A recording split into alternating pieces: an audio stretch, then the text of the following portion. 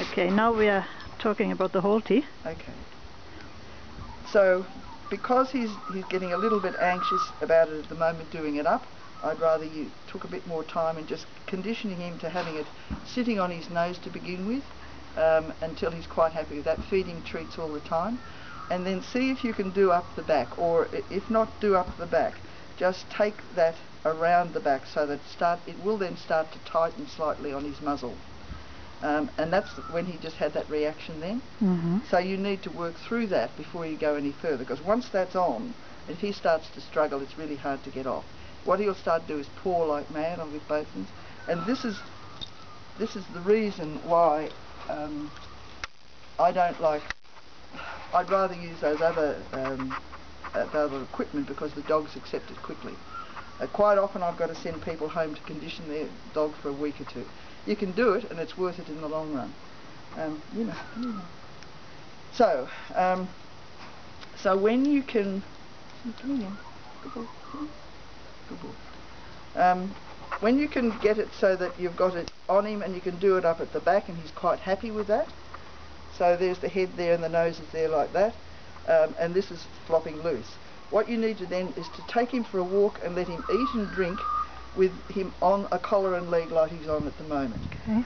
Um, and when he's happy with that, just wearing it without anything, then I would use your double-ended lead and I would put one lead on the collar and one lead on this, uh, the clip underneath his chin here, which is this one here, and again leading him around but only using that part of it. Yes. So he feels the weight on that underneath there Okay. but doesn't worry about it. Mm. Then you could start using this a little bit to turn the head and it's just like it's like power steering and all you need to turn the head is just a A just a little shiver and release, a shiver Yep. and release just like I was doing up and down there. Yep. Good boy.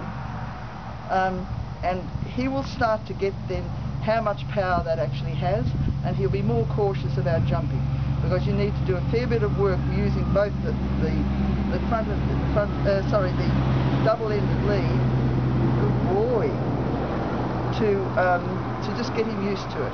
Uh, yeah, so, and after a while when you've got both on there you can start using this to turn him all the time and that to slow him down Mhm. um, and then gradually you, you could you could end up just using the head collar Okay. if you wanted to, or you could continue Yes. using the double-ended lead. Um, and what if an emergency happens, like a kangaroo jumping up in front while he's still in training period?